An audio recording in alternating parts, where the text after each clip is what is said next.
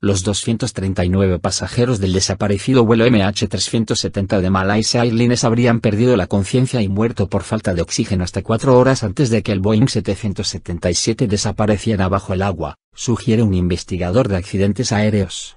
Los pasajeros del vuelo MH370 habrían muerto horas antes de que el piloto Faria Mausa realizara un amaraje forzoso controlado en el Océano Índico, propone en su versión de los hechos Ewan Wilson, investigador de accidentes aéreos neozelandés piloto comercial y fundador de Kiwi Airlines, citado por Mirror.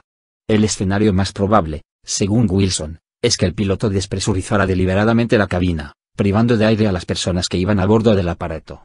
Aunque las máscaras de oxígeno habrían descendido de forma automática desde la parte superior de los asientos, el oxígeno suministrado a través de ellas se habría agotado al cabo de solo 20 minutos.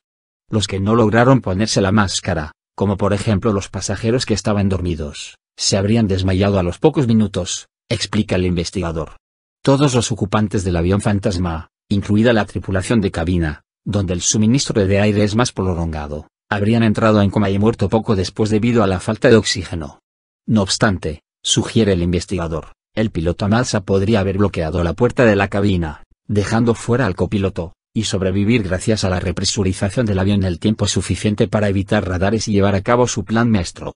Entonces, habría realizado un amaraje forzoso controlado en el mar, lo que explicaría por qué no se han encontrado los restos del avión, ya que el aparato amarró y se hundió de una sola pieza. Un informe anterior de la Oficina de Seguridad del Transporte de Australia, ATSB, por sus siglas en inglés, también concluyó que los pasajeros habrían muerto por hipoxia, insuficiencia de oxígeno. Cabe mencionar que las autoridades de Malasia anunciaron anteriormente que Amausa es el principal sospechoso en la tragedia ocurrida el pasado marzo.